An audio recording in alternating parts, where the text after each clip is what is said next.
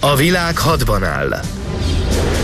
A második világháború azután robbant ki Európában, hogy a tengelyhatalmak elfoglalták Lengyelországot és Franciaországot. A világ másik oldalán viszont Kína már 1937 óta harcolt a japánokkal. Kínát nem tudták legyőzni, így Japán a csendes óceán felé kezdett terjeszkedni. 1941. december 7-én a japán légierő váratlan támadást indított a Havain állomásozó amerikai hajóhad ellen. Két óra alatt öt csatahajót sülyeztettek el, 188 repülőt lőttek le, és 2400 amerikai katonát öltek meg. Óriási pusztítást végeztek. A történtek megrázták az Egyesült Államokat. Tegnap, 1941. december 7-én volt az a nap, amely mindörökre a szégyen bélyegét viseli majd magán. Azon a napon az Egyesült Államok belépett a második világháborúba. Ez volt az a fordulópont, amikor nem kellett többé Kínának egyedül felvennie a harcot. A nevem Rana Mitter, Oxfordi professzor és a modernkori Kínát kutató történész vagyok. Éveken át tanulmányoztam és írtam Kína második világháborúban betöltött szerepéről. Az európainál hosszabb ideig tartott a háború, de ugyanolyan pusztító volt. Bejárom az országot, hogy megtaláljam az utolsó túlélőket. Azt mondta, uram, kérem, lőjön le! És meghallgatom, milyen emlékeik vannak a háborúról.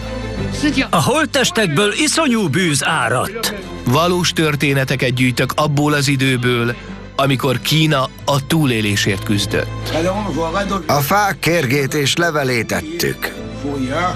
És a győzelem hogyan kovácsolta egyé a mai Kínát.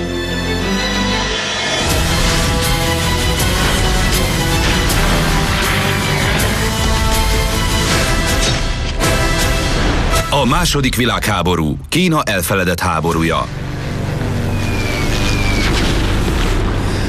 Az amerikaiaknak a második világháború 1941-ben Pearl Harbornél kezdődött. Az európaiaknak 1939-ben, amikor Németország lerohanta Lengyelországot. Kína és Japán azonban már 1937 óta hadban álltak egymással.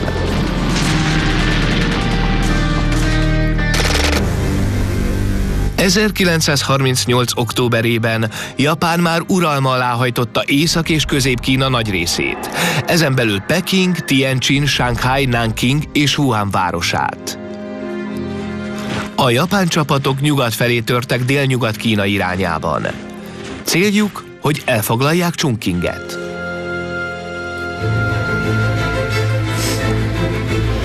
A világ egyik leggyorsabban növekvő városa 30 millió lakosával Chungking Kína egyik legnépesebb települése is.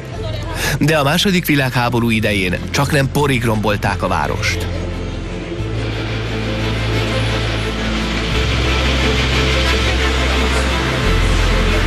Hegyek közé zárva, ködbe burkolózva, valódi szárazföldi erődként szolgált, és szinte bevehetetlen volt földi egységeknek. Tökéletes nemzeti főváros volt a háború idején.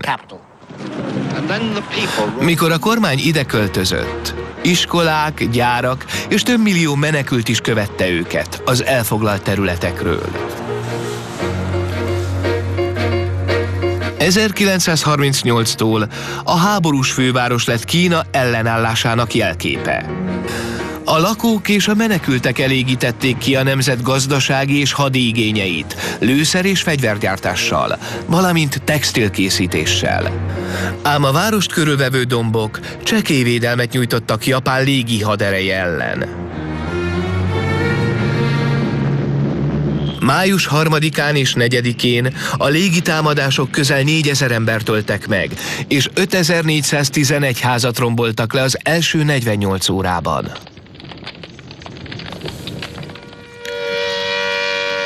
Az emberek föld alatti menedékhelyekre vonultak, miközben Chungking városa lángokban állt.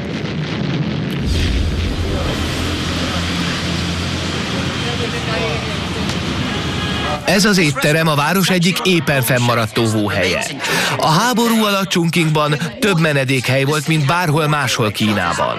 Több mint ezer. A japánok le akarták bombázni a kormányt és annak embereit, hogy behódoljanak. Sokan meghaltak a támadások alatt. 1941. júniusában több ezren fulladtak meg egy óvóhelyen, miközben tömegével menekültek a japán légitámadás elől. A légicsapás után megalakult mentőcsapat tagjaként a 92 éves Gao Rombing személyesen élte át a katasztrófát, amely a mai napig kísérti. A mentőcsapat tagja voltam. 17 éves voltam, még a 18-at sem töltöttem be. Mondja el, mire emlékszik az 1941. június 5-i bombázásból? Az emberek az óvóhelyre vonultak délután 5 órakor, amikor a japán gépek támadásba lendültek. Piros lampionokat lógattak fel, mikor megszólaltak a szirénák. És zöldeket, amikor abba maradt a támadás.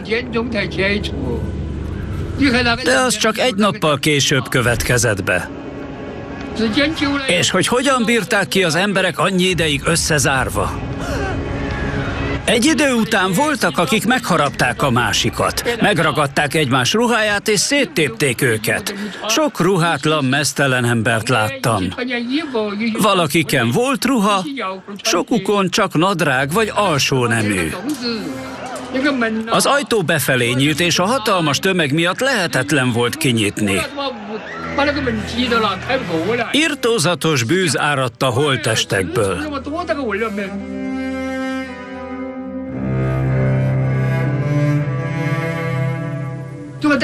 Gázálarcokat kellett viselnünk, hogy bemehessünk az óvóhelyre. Nem sok holttestet tudtunk kihozni napközben. Éjszaka többet tudtam kihozni. Három nap és három éjszaka megállás nélkül emeltük ki a holttesteket. Emlékszem, hogy egy fiatal lányt is ki kellett hoznom, Anya szült mesztelen volt, sírva fakadtam, mikor megláttam. A társammal együtt könnyeztünk. Ruhával takartam le. Iszonyatos volt. Mr. Gao története ráébresztett arra, hogy milyen kétségbe esettek lehettek az óvóhelyen lévő emberek a légitámadás éjszakáján. Sehova máshová nem tudtak menekülni a légicsapás elől. Ebből is látszik, hogy a háború mindenkit érint, habár a különböző embereket különböző mértékben. 1941-ben csupán annyi óvóhely volt a városban, hogy csak a lakosság kétharmada lehetett biztonságban. Az emberek akkor is ott kerestek menedéket, ha az már zsúfolásig tele volt. A menedékhely, ahol több ezren megfulladtak, itt található Chungking belvárosában, Csingcsankóban.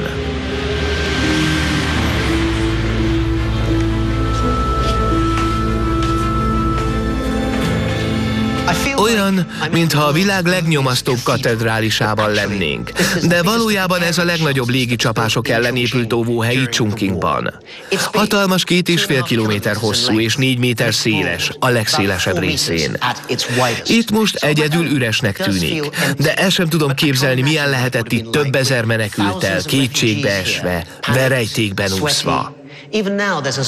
Még most is van egy kis meleg, nyírkos érzete az embernek, ami elég felkavaró.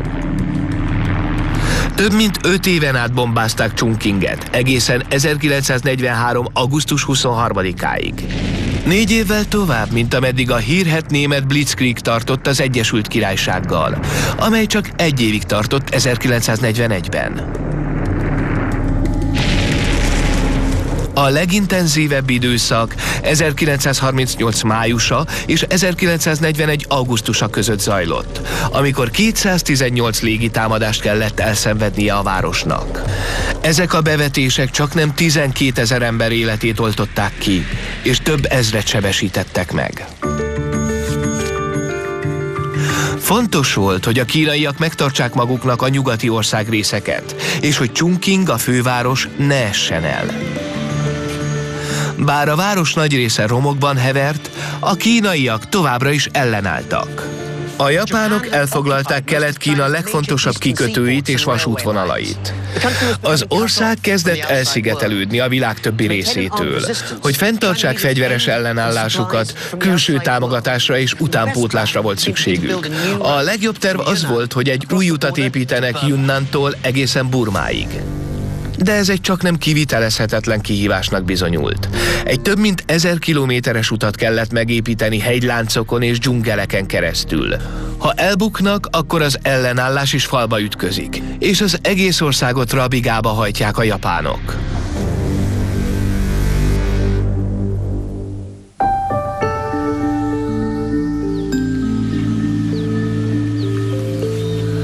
A nyugat-kínai Yunnan tartományban vagyok, és azt próbálom kideríteni, hogy mi történt 1937-ben. Japán megszállta Kínát, és elfoglalta a virágzó keleti országrészeket. Egy utat kellett építeniük ezen tartomány és Burma között, amely ezer kilométerre nyugatra található. De vajon kivállalkozott a megépítésére? Mivel az erre alkalmas emberek a háborúban harcoltak, elég váratlan segítség érkezett a kormány kérésére. Munkások, köztük idősek, nők és gyerekek kezdetleges szerszámokkal vésték ki az útvonalat. 1937 végére csak nem 200 ezer helyi munkás vett részt a munkában. Az idő viszont ellenük dolgozott. A kormánynak 12 hónap alatt kellett befejezni az utat. A kínaiak végrehajtották a lehetetlent, és kevesebb, mint egy év alatt megcsinálták. Kunmingtól Yunnan tartomány fővárosától a burmai Lashióig tartó utat építettek ki. Ha gépekkel dolgoztak volna, három évig tartott volna a munka. A kínaiak kihasználták egyetlen előnyüket, az emberi erőforrást. Az út mentőkötélként szolgált Kína számára, amely összekötötte őket a kinti világgal, de sajnos kérés életű volt. 42-ben, miután a csendes óceánon is kitört a háború, Japán gyors léptékben elfoglalta Dél-Kelet-Ázsiát Burmával együtt.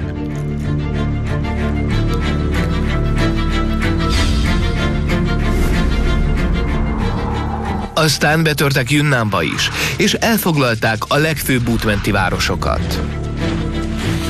A mentőkötél ezzel elszakadt.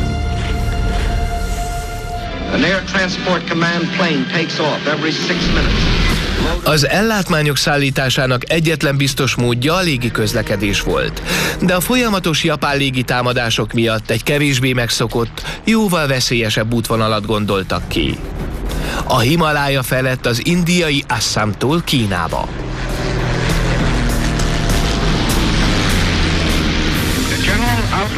Az amerikai elnök Franklin D. Roosevelt titkos jóváhagyásával egy csapat elbocsájtott vezető amerikai pilótát, hivatalos nevükön az amerikai önkéntes csoportot küldték a kínai légierő támogatására.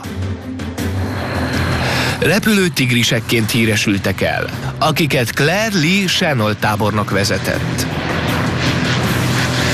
A kínai pilóták feladata az volt, hogy manőverezzenek a veszélyes úton. 5-6 ezer méteres magasságban a repülők motorja bármikor megfagyhatott és leállhatott volna. Ezek a repülések hegyi repülések néven híresültek el. A 99 éves Daichi Shing az egyik olyan pilóta volt, aki átrepült a hegyek felett. 22 évesen jelentkezett pilótának a sorozást követően. 70 évvel később még mindig emlékszik halálközeli élményére. Ha a repülők rendben működtek, akkor nem volt mitől félni. Ha valami barul sült el, akkor elveszítettük felettük az irányítást. A hegyvidékes terepen sehol sem volt síkság, ahol kényszerleszállást lehetett volna végezni. És végig ilyen volt, a hegyek felett repülni azért volt veszélyes, mert a legapróbb hiba is az életünkbe kerülhetett volna. 1941 végétől a kínai pilótákat Amerikába küldték kiképzésre, és Daichi Sing is köztük volt. Miután visszatért, Dai a repülőtigriseket támogatta, mely később az amerikai 14. légierőként működött tovább Kínában. Az egyik legfontosabb küldetésük, hogy elpusztítsák a japán utánpótlási útvonalakat. 1944. októberében három társammal repültem Liangshanból Hanzongba. A második nap azt a parancsot kaptuk, hogy bombázzuk le a sárga folyó fölött átívelő hidat. Az amerikai 14. légierő korábban már le akarta bombázni. Azonban nem jártak sikerrel. A híd fölé repültem. De a japánok légvédelmi fegyverekkel tüzeltek ránk, mivel nem számítottak arra, hogy ilyen alacsonyan fogunk bombázni. Nem féltünk a légi bombáiktól, csak a gépfegyvereiktől. 1000-1200 méter magasról nagyon gyorsan leereszkedtünk, és egyenesen a híd felé tartottunk. A parancsnok helyettesünk ideges volt, és ledobott három bombát, amikor elég közel került a hídhoz. Én megvártam, amíg elértem a híd közepéig, és beállítottam a gép dőlés szögét, és ledobtam két bombát. Akkoriban nem gondolkodtam tisztán.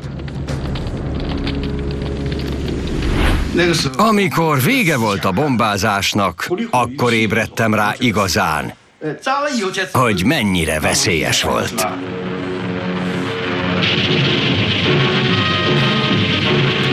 Habár a repülőtigrisek nagyban hozzájárultak Kína légvédelméhez és biztosították az ellátmányokat, az országnak nagyobb megbékélés kellett a töltényeken kívül. A burmai légi alakulat által szállított ellátmány nem volt elég a kínai hadseregnek. Nem tudták folytatni az ellenállást. Az élelmezés megoldása érdekében a kínai kormány egy olyan tervet valósított meg, amely még tovább fokozta az akkor uralkodó keserves állapotokat. 1938-ban utolsó kétségbe esett erőfeszítésként a kormány úgy döntött, hogy megnyitja a sárga folyómenti töltéseket, hogy megakadályozzák a japánokat a Wuhani katonai bázis elfoglalásában. A stratégia bevált. Kínának sikerült ezzel némi időre szert tenni, ám a döntésnek katasztrofális következményei lettek. A sárga folyó ezáltal délkeletre folyt észak-kelet helyett. Elárasztotta a Henan tartomány nagy részét, köztük a termőföldeket is. Egyéb tényezők, mint az asszály és a gabonaadó is tovább súlyosbították a helyzetet. Liu Haijung egyetemi professzor, aki a háború idején uralkodó éhínség hatását vizsgálja Henánban. Az éhénység idején az enyhítő rendelet alapján a kormánynak csökkentenie kellett a hadicélú gabona felhasználást. De hogy elláthassák a hennáni sereget, ahelyett, hogy csökkentették volna, inkább növelték a gabonaadót. A legborzalmasabb napokon az emberek semmit sem tudtak enni. Az idősek és a munkaképtelenek elkeseredtek. Olvastam valahol, hogy egyesek a saját ürüléküket ették meg. A mai emberek számára ez szinte felfoghatatlan.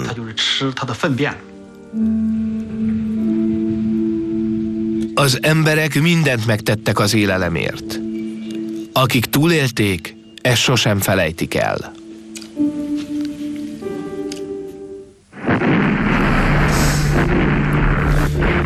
Kitört a második világháború.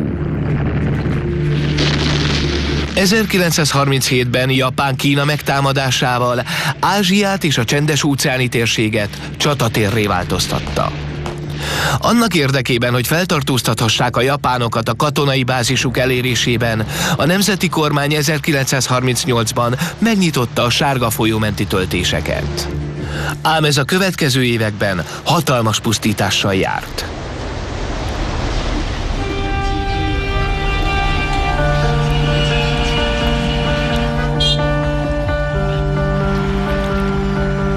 Kajfengben vagyok, Honan tartományban.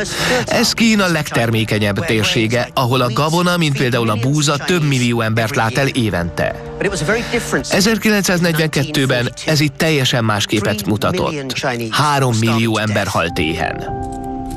Hogy még többet megtudjak az 1942-es éhínségről, első kézből fogom meghallgatni az egyik túlélő történetét. A ma már 88 éves Wang Yangchung 10 éves volt 1942-ben. 11 fős családja áldatlan állapotok között a helyi templomban volt kénytelen élni, miután eladták a házukat. Milyen ételeket készített a családja az éhínség idején? Mit tettek? Lehántoltuk a fák kérgét, és ollóval kapartuk ki belülről, majd a napon szárítottuk ki.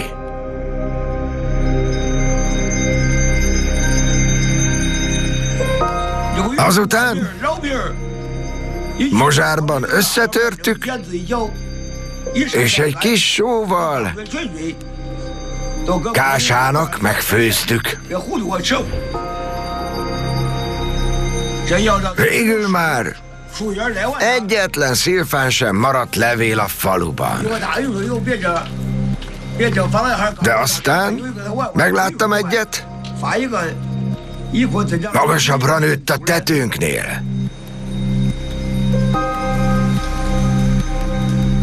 Azon még maradt pár levél, így felmásztam rá.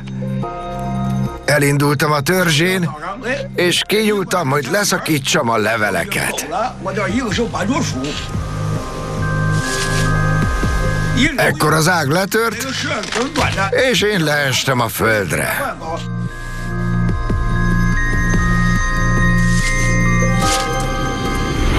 Mesélne az éhínség idején átélt borzalmakról? Láttam, ahogy az egyik helyen embereket adtak el, itt Kaifengben.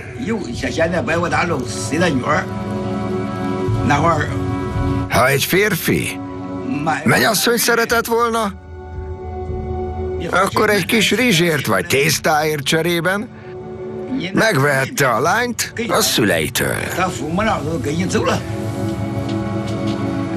Voltak olyanok,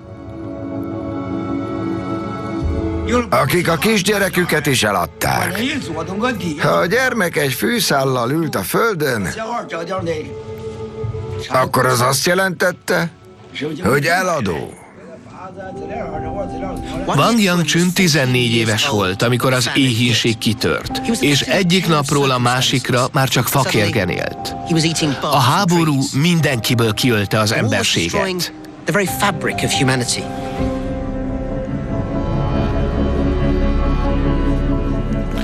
Az éhínség volt a bizonyíték arra, hogy milyen borzalmas volt a helyzet. Chiang Kai-shek azt írta a naplójában 1943-ban, ha még egy évig elhúzódik a háború, Kína nem valószínű, hogy tovább fent tudja tartani magát. 1943. február 18-án Madame Chiang Kai-shek az Egyesült Államokba utazott, hogy támogatókat szerezzen a japánok elleni háborúhoz. Az amerikai képviselőházban is tartott beszédet. Kína hajlandó és készen áll, hogy együttműködhessen önökkel és más népekkel. Hogy lefektethessük egy igazi, tartós és előremutató társadalom alapköveit. Ezáltal sohasem fordulhat majd elő, hogy bármely arrogáns és kizsákmányoló szomszédos nemzet vérfürdőt rendezzen a jövő nemzedékei életében. Karizmájával elnyerte tetszésüket, és ezzel elősegítette, hogy Kínát is bevegyék a második világháború végéről szóló egyezménybe. De a politikai valóság sajnos nem volt ennyire rózsás. Mielőtt azonban ez elindulhatott volna, a szövetségesek egyáltalán nem bíztak egymásban. 1943-ban egy konferenciát szerveztek Kairóban, hogy megvitassák a Japán elleni háború jövőjét. Ez volt az első konferencia, amelyen annak a három szövetséges országnak a vezetője jelent meg, akinek veszteni valója volt az ázsiai és csendes óceáni hadszintéren. Roosevelt az Egyesült Államok, Churchill a brit birodalom és Chiang Kai-shek Kína képviseletében. Ahogy Csanga naplójában is írja, ez volt az első szereplésem a diplomácia színpadán. A szövetségesek gyengék voltak, hiszen mindenkinek mások voltak a szándékai. Az Egyesült Államokat és Nagy-Britanniát a csendes óceánon zajló háború érdekelte, mert a japánok fenyegetést jelentettek a brit birodalomra Dél-Kelet-Ázsiában. Félő volt, hogy az Európában zajló háború eltiporja Kínát. A szövetségesek egy egyesített arcvonalat hoztak létre, hogy megállítsák a japán terjeszkedést, és hogy visszavegyék az elveszített területeket a csendes óceánon, Kínában és Koreában. Így a szövetségesek támogatásával Kína visszaszerezhette egyik legfontosabb területét. A kínaiak túlélése attól függött, hogy meg tudják-e az útvonalat Yunnan és Burma között az ellátmányok szállításához. A tervük kétfrontos támadás volt az indiai Ledóból és délnyugat Yunnanból Észak-Burma felé. De egyedül ezt nem tudták kivitelezni, szükségük volt helyszíni támogatásra a szövetségesektől, és amikor ezt nem kapták meg, egy nehéz döntés elé kerültek. A szövetségesek nem sok támogatást nyújtottak Kínának. Ennek ellenére Kína úgy döntött, hogy megtámadja a nyugat Yunnanban található japán támaszpontokat, és kiűzi őket az útmenti városokból.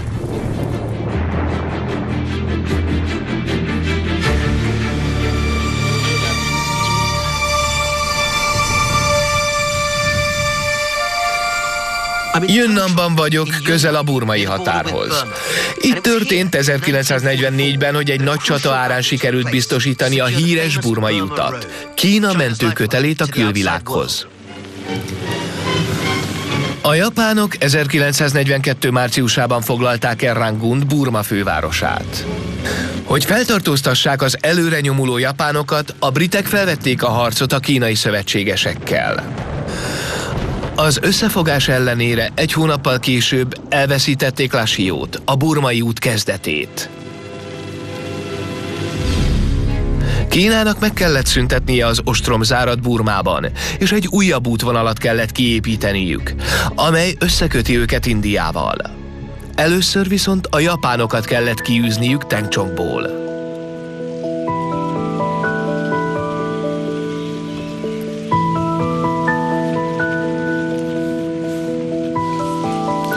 Ez Kína egyik legjobb állapotban fennmaradt második világháborús temetője.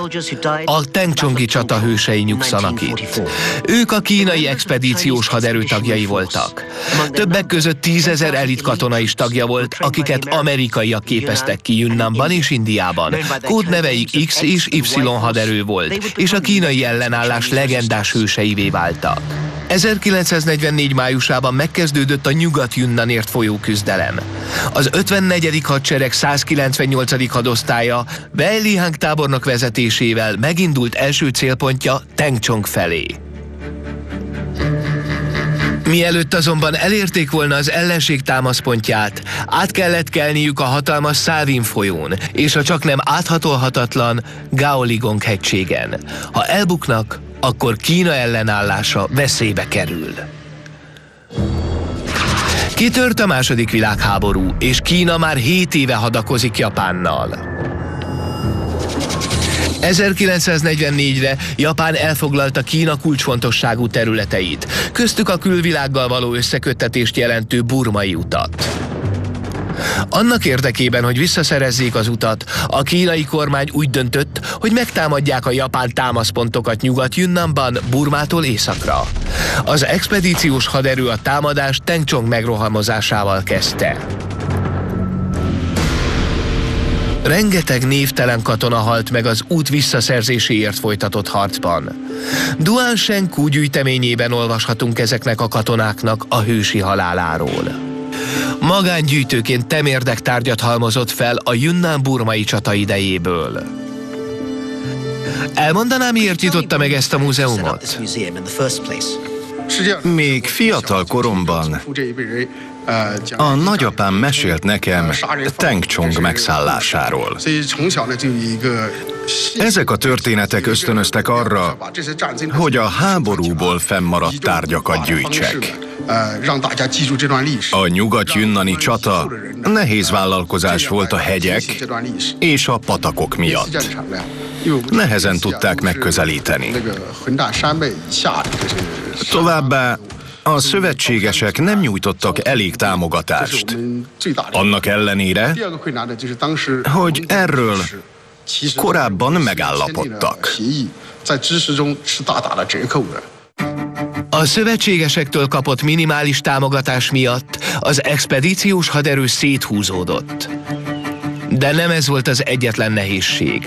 A japán támaszponthoz át kellett kelniük a nagy Szálvin folyón, de az egyetlen átvezető út a Huitong hídon lett volna lehetséges.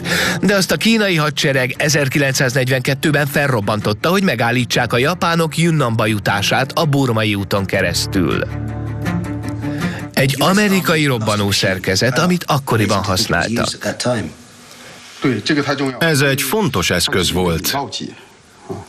Ez volt a detonátor, amelyel felrobbantották a Huitong hidat, hogy megállítsák a japán rohamot a folyó nyugati részén. A Huitong híd fontos állomás volt a burmai úton.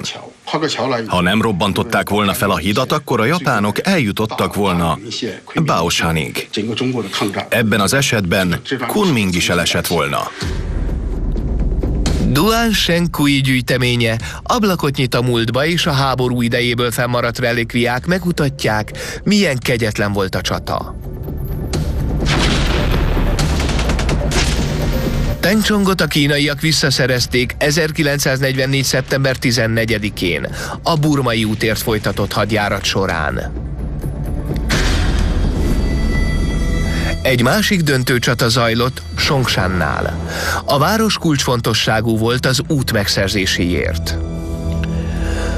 A kínai expedíciós haderőből 200 ezer katona tört be a Songshan hegyvidékre. Egy három hónapig tartó véres csata kezdődött.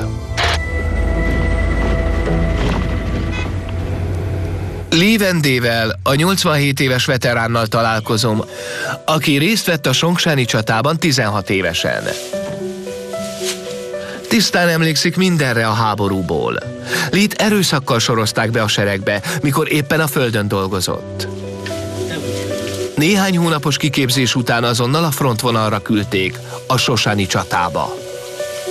Mire emlékszik, hogyan kezdődött a Songsani csata? Rengeteg japán repülő volt. Harmadik és negyedik napon madárrajként repültek be. A bombák robbanása és a fegyverek ropogása egybeolvadt. Nem lehetett megkülönböztetni a kettőt.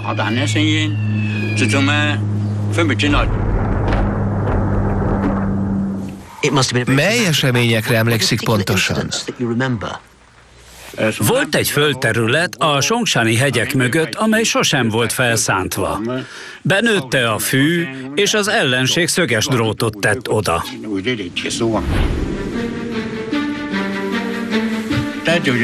Fegyveres katonák lapultak a lövész árkokban, csengőket akasztottak a szöges drótra.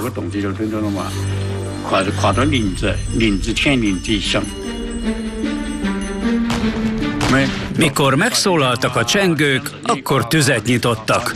Volt, hogy fél óráig is lapultunk a földön.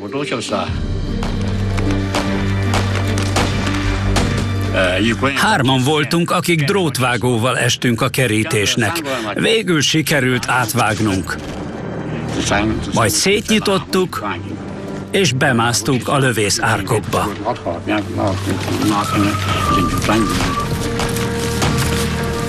Berontottunk, és a parancsnok helyettes egy kézigránátot dobott közéjük, és tüzet nyitott a gépfegyverével. A japánok visszavonulót fújtak.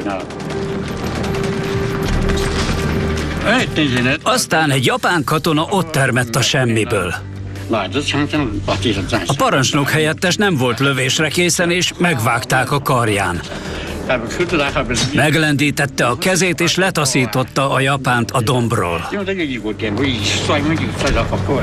Utána elfoglaltuk a területet.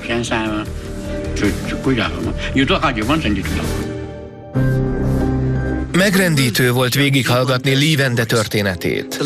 A háború utolsó éve borzalmas volt a kínai sereg számára. Kevés élelem és fegyverellátmány érkezett, de még így is sikerült diadalmaskodniuk Songshánnál. Azok a lövészárkok, amelyben Li és társai is harcoltak, a mai napig megvannak. Fontos stratégiai taktika volt ez a japánok részéről. Sokadik kísérlet után a kínaiak végre olyan ötlettel álltak elő, amelyel elpusztíthatták a japán erődöket. A japán lövészárkokat és támaszpontokat nagyon nehezen lehetett megközelíteni. Egy 150 méter hosszú alagutatást a hegyen keresztül, amin a támaszpont állt. Ezután telepakolták az alagutat robbanóanyaggal és felrobbantották. A kínai haditerv eltiporta a japánok küzdő szellemét.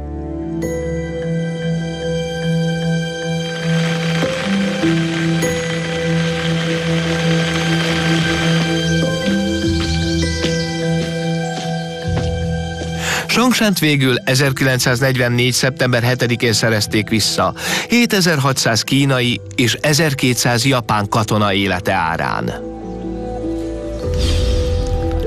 Ennek eredményeképpen a szövetségesek visszafoglalták Nyugat-Jünnant és Észak-Burmát, és ezzel együtt a burmai utat is. Ezáltal megépítettek egy másik utat is, a Ledói utat, amely 1945. januárjában nyílt meg. Az expedíciós haderő bátor katonáinak köszönhetően a Songsáni csata jelentős fordulópont volt az események tengerében. 20 ezer kínai katona harcolt a Songsáni csatában, és 8 ezer életét vesztette. Ezek az életnagyságú szobrok a katonák bátorságát és odaadását jelképezik, amiről oly régóta megfeledkeztek már.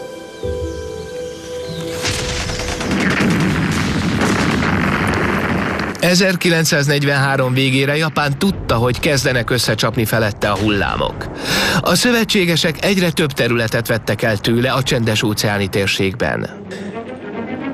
Japán egy váratlan támadást indított félmillió katonát csatasorba állítva, hogy újra fölényhez jusson. Egy végső leszámolást tervezett.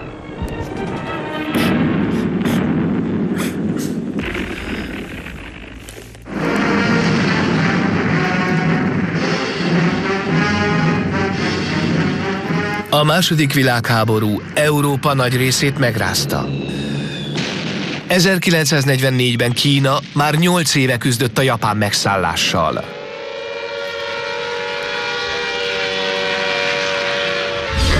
A japánok meg akarták semmisíteni a Kínában található amerikai légitámaszpontokat, valamint területeket és vasútvonalakat akartak elfoglalni, hogy bajba jutott csapatokat menthessenek ki Dél-Kelet-Ázsiában.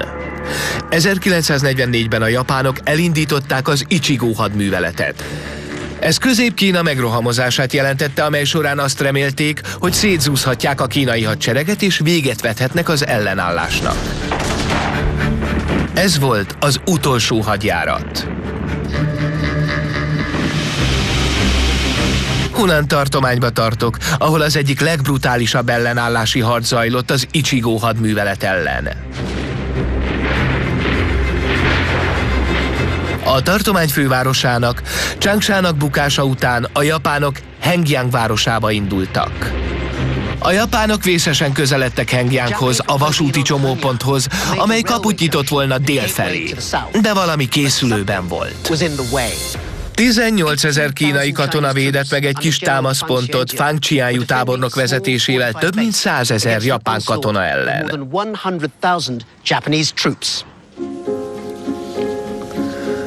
A 94 éves Rao Pingru harcolt a Hengyangi csatában. Tudós és egyetemet végzett családból származik, és Rao volt az egyetlen, aki nem lépett szülei nyomdokába. Kitört a háború, és érezte, neki is harcolnia kell.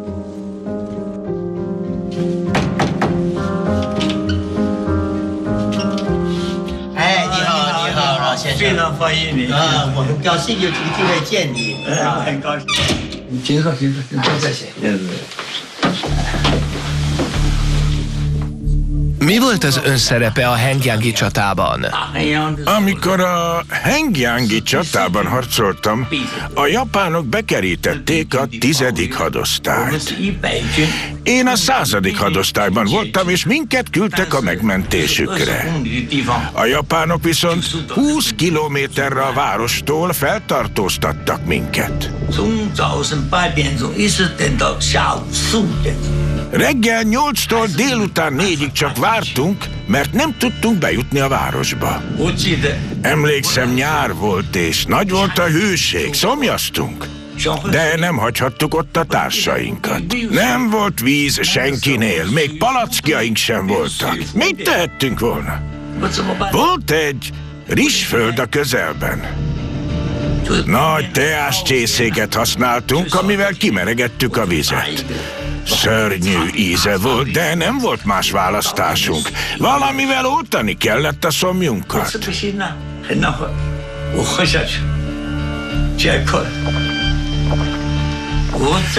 A századik hadosztály nagyon rosszul volt felfegyverkezve.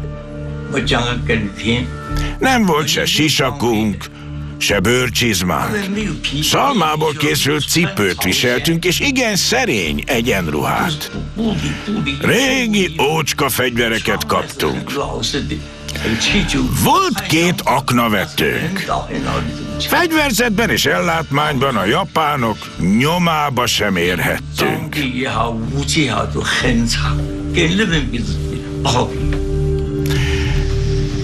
Én voltam a szakaszparancsnok, és két aknavetőnk volt. Körülbelül 5-6 lépésnyire álltam mögöttük. Ki gondolta volna, hogy abban a nagy kapkodásban az egyik ágyútöltő fordítva teszi bele a lövedéket az aknavetőbe. A másik katona nagyon ideges lett, és egy hordóba hajította az aknavetőt, ami felrobbant. Vastag acélból készült a lövedéknek a hüveje, ami a robbanás következtében darabokban felénk repült. Az első töltő térdre rogyott. A második a bal térdén támaszkodott. A robbanó lövedék elvitte az elsőnek a lábát és a jobb kezét. A másodiknak leszakította a bal lábát. Mindenki a segítségére sietett, erre ő mit mondott? Uram, Lőjön le, kérem!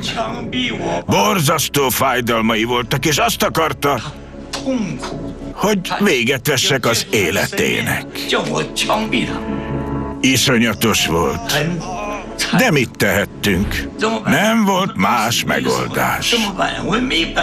Hátra cipeltük, de tudtam, hogy nem fogja túlélni. Annak ellenére, hogy a japánok nyerték meg a Hengyangi csatát, súlyos veszteségek érték őket. Több mint 9000 japán katona vesztette életét a város ostroma közben. Összehasonlítva Malázia és Szingapúr elfoglalásakor ezer fő volt a halottak száma. Ami Japánt illeti, hatalmas pofon volt ez nekik. Ez volt az egyik leghosszabb városért folytatott védelmi harc a háború évei alatt. Habár a Hengyangi csata nem volt olyan nagy, mégis megtestesítette azt, amiről a háború szólt volt. Kitartás a végsőkig. Több csata következett Hengyang után. 1945-re a japánoknak már észak-kelettől egészen délig voltak területei, de nem volt elegendő haderejük, hogy a vidéki területeket is uralmuk alá hajtsák. Míg a Nemzeti Hadsereg Kína belső területeit védte, Mao 8. serege és az új negyedik hadsereg földműveseket toborzott japán vonalak mögül, hogy csatlakozzanak a harchoz. Ellepték a japánok által megszállt területeket. Különféle gerilla módszerekkel vágták el a közlekedési útvonalakat és Japán utánpótlási vonalait. Egyre nagyobb volt az ellenállás, ahogy a kommunista hadsereg is növekedett. A legtöbb kínai úgy gondolta, hogy egy-két évig el fog húzódni a háború, senki sem számított arra, hogy olyan gyorsan lesz vége, ahogy elkezdődött.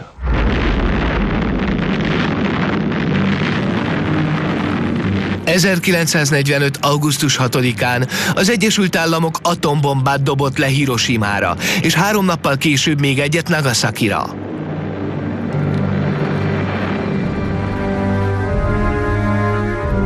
Japán feltételek nélkül kapitulált. Kína katonai szempontból hátrányból indult. Mégis képesek voltak arra, hogy a japánok egy három hónapos hadjáratának gondolt műveletét hosszú évekig tartó háborúvá változtassák, melynek 1945. szeptember másodikán lett vége. Ez a nap azóta is Kína győzelmi napja. A japánok fegyverletétele a Központi Katonai Akadémián történt Nankingban. 1945. szeptember 9-én reggel 9-kor Ho Ying-chin tábornok és Okamura Yasuchiro hadnagykormányuk képviseletében aláírták a fegyverletételi okmányt. Ez az egyszerű 20 perces szertartás 8 hosszú év háborúzását zárta le. A második világháború Kínának tartotta legtovább, és az egyik legvéresebb harcok közé sorolható. 14 millió ember életébe került ez Kínának, és eltiporta a törékeny, de vérbeli modernizációt, amin éppen akkor ment keresztül. A Kína ellenállását jelképező felszabadítási emlékművet itt találjuk Chongqing belvárosában, az egykori háborús fővárosban. Feltartóztattak 600 ezer japán katonát is a 2,3 milliós tengeren túli seregből, így Kína fontos részévé vált a szövetségesek stratégiájának is. Ennek eredményeképpen ma már Kína az ENSZ biztonsági tanácsának a nemzetközi diplomácia pillérének állandó öt tagja között szerepel. Ám a japánokkal vívott harc szellemei még nem békéltek meg. A háború szörnyűséges képei örökre beleégtek a túlélők emlékezetébe. Sosem fogom elfelejteni a háborút, mert élet-halál kérdése volt. Az világosan látszott, hogy az ellenállás és a béke utáni vágy mindenek felett győzedelmeskedett. Remélem, az emberek nem fogják elfelejteni a történelem ezen részét, és ellenezni fogják a háborút, valamint békére törekszenek. Kína átvészelte a második világháborút, és nagyhatalommá nőtte ki magát. Ez nem valósulhatott volna meg azok nélkül, akik életüket áldozták a szabadság oltárán.